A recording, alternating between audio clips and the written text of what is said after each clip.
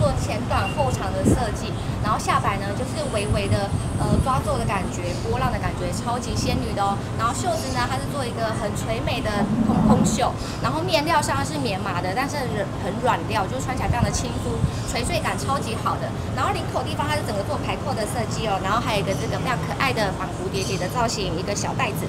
然后其实它是算这样搭配的高腰裤是不会露肚子的，整体穿起来呢非常的唯美。